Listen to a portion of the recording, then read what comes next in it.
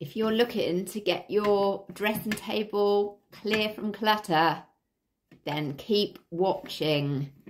This item fits so much inside it. It's got drawers, you can fit loads in. I will do a close-up of this in a minute. You can put tall bottles in the top and then it slips up. And if you need to go anywhere, it's got this handy case. You can take it around with you. So let me just show you what you can get in the drawer.